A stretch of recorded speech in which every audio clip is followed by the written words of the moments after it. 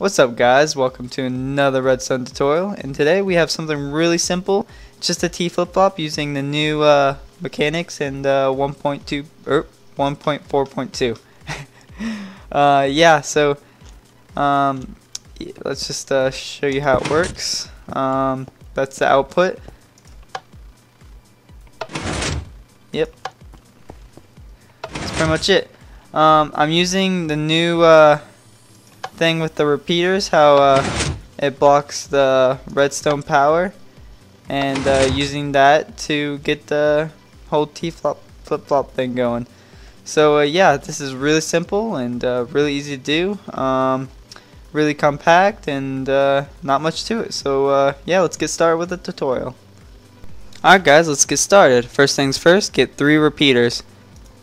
Put two of them right next to each other and put one perpendicular to the other like that.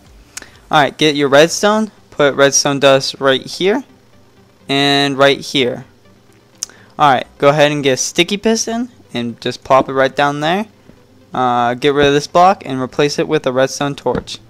Alright get your blocks out and put one on the sticky piston and one right here. Uh, and yeah that should be it uh, let's get our output here. Let's represent it with some glowstone.